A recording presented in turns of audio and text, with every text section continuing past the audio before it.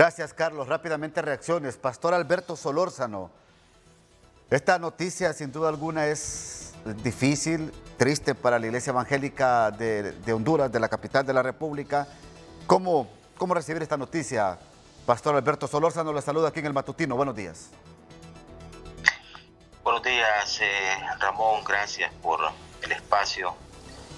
Bueno, eh, con mucho pesar, así recibimos esta noticia, igual que el pesar con que hemos recibido la noticia de muchos hondureños que lamentablemente han perdido la vida a causa del COVID-19.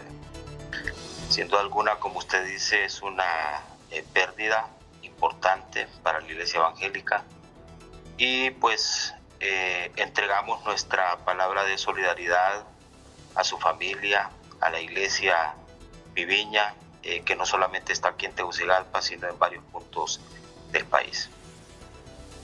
Pastor, eh, ¿a qué hora se dio cuenta usted del fallecimiento del pastor Mario Tomás Barahona? Pues hace un momento me enviaron eh, la nota, la noticia relacionada con esto. Obviamente eh, teníamos que esperar que fuese, tuviese un carácter de mayor oficialidad.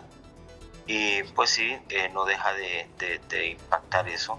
hicimos las comunicaciones y en efecto nos confirmaron que esto había pasado. Como usted ha mencionado hace un momento, él venía en una situación bastante complicada desde hace unos días atrás y pues lamentablemente tuvo este desenlace. Eh, Pastor Alberto Solosa, no tengo entendido también que, que su señora esposa, de, la esposa del, pastor Mario Tomás Barahona también estaba contagiada de COVID-19. Sí, en efecto, ella misma ha tenido que ser hospitalizada, entiendo yo, y su situación igual es, es una situación eh, no fácil, eh, complicada, pero esperemos pues pueda superar esta, este momento y obviamente sumado a, a, esto para la familia, imagínese usted el impacto de la, de la partida del pastor Mario Tomás y luego tener también la a su esposa ahí en un estado muy crítico, sin duda es un peso emocional bastante fuerte sobre ellos y están nuestras oraciones y nuestro acompañamiento y solidaridad. En muchas ocasiones dijo él que no habría que tenerle miedo a esta enfermedad. Muchas veces dijo, de acuerdo a lo que trasciende, que las medidas de bioseguridad eran diabólicas y que también era antivacuna.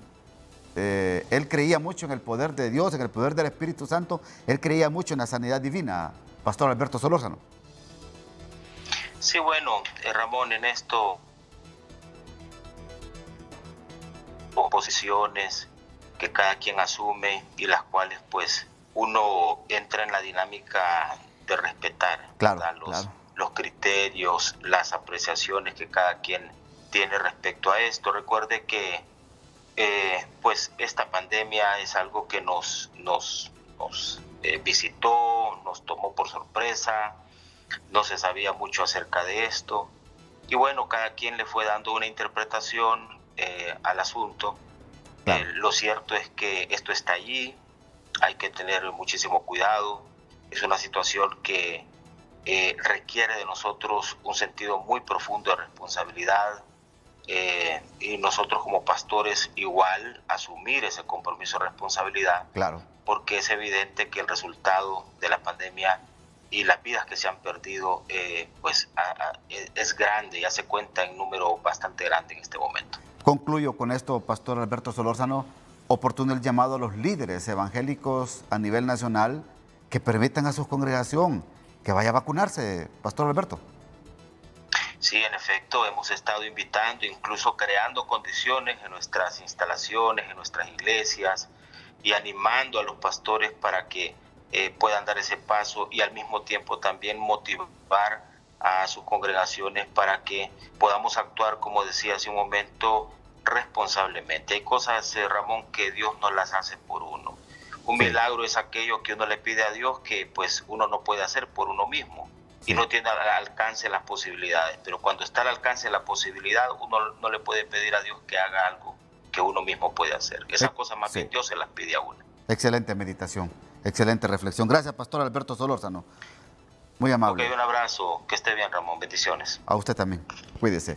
Bueno, Repetimos, muere el pastor Mario Tomás Barahona, líder evangélico, pastor general de la iglesia Mi Viña, por COVID-19 en una clínica privada en la capital de la República. Su señora esposa también está hospitalizada por COVID-19.